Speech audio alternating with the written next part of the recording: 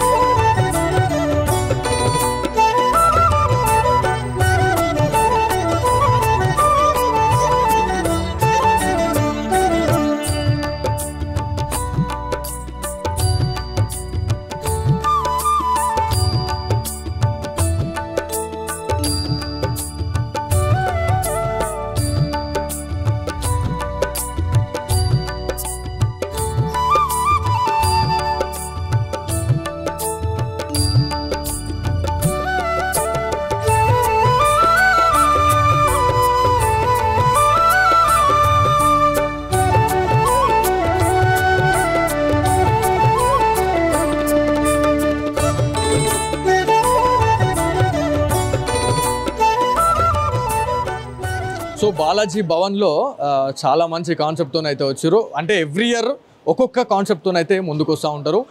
So మనకి డెబ్బై ఐదు సంవత్సరాలుగా స్వామివారికి సంబంధించిన సేవాది కార్యక్రమాల్లో కూడా వీళ్ళు ఉంటున్నారు సో అందరికీ మీకు వినాయక చవితి శుభాకాంక్షలు అండి.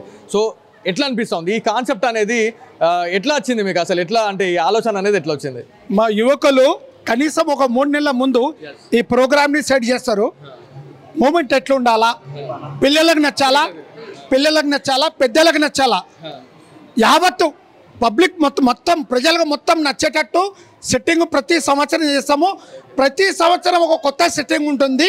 ఈసారి లాల్ బాగ్ లాల్ బాగ్ బొంబాయి గణపతి లాల్ బాగ్ రాజా బొంబాయి గణపతి కూర్చొని ఉంటారు.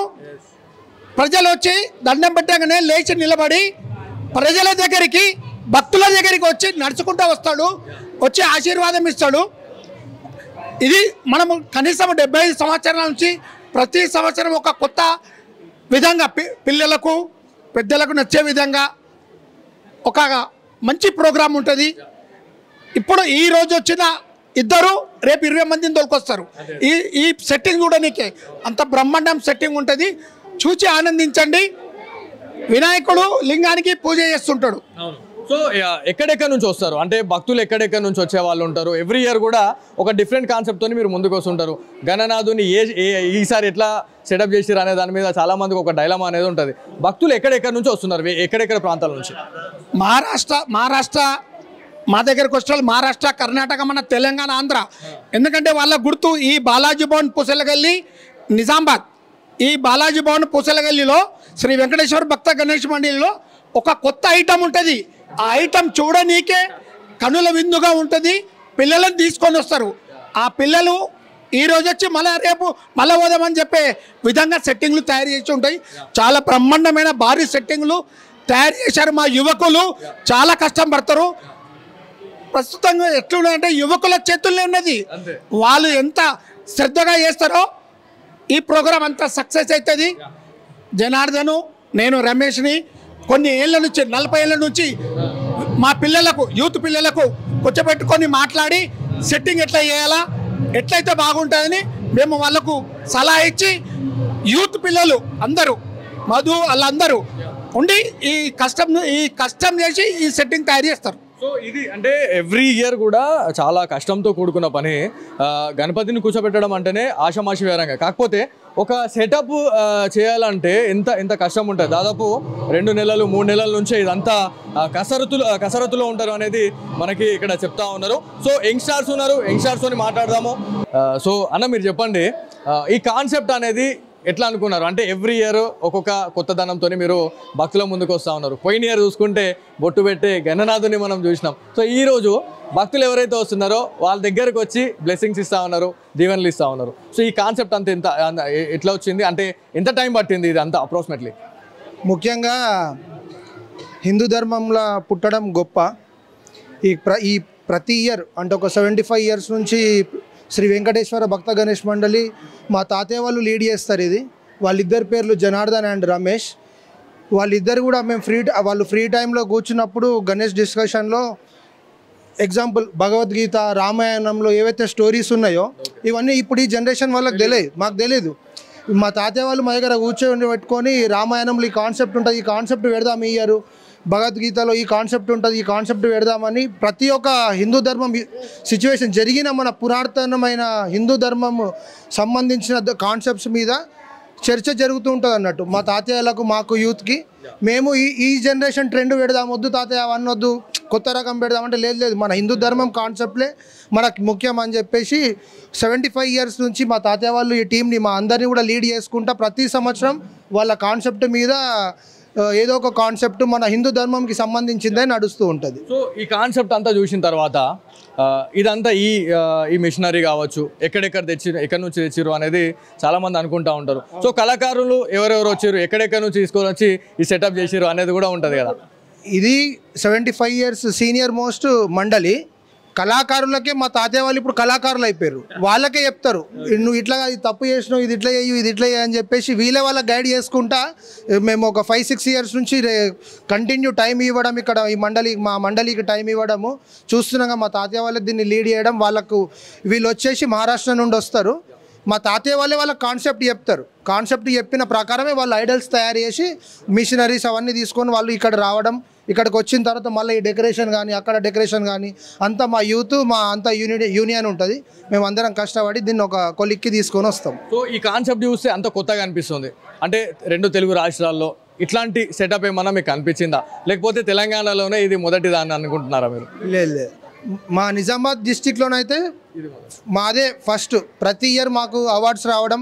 ఎవ్రీ ఇయర్ కూడా టూ థౌజండ్ ఫోర్టీన్లో తెలంగాణ వచ్చిన సుధర్ శుభ సందర్భంగా గణపతి లేచి నాట్యం ఆడి నాడుతుండే అప్పుడు కవిత మేడం గారు మాకు ఫస్ట్ ప్రైజ్ ఇచ్చి వన్ ల్యాక్ రూపీస్ డొనేట్ చేశారు మా మండలికి. లాస్ట్ ఇయర్ గణేష్ బొట్టు పెట్టడము అంతకుముందు దశావతారం అంటే విష్ణుమూర్తి టోటల్ ఏదైతే ఒరిజినల్ రూపం ఉంటుందో ఆ రూపంతో దర్శనం ఇవ్వడము అంతకంటే ముందు కుంభకరణ్ సెట్ టోటల్ డిట్ తిరుపతి ఎట్లయితే ఉండేనో అదే విధంగా సేమ్ తిరుపతిని ఇక్కడ సెటప్ చేసినాం. సాయిబాబా షిరిడి సాయిబాబా మళ్ళీ త్రివేంద్రం.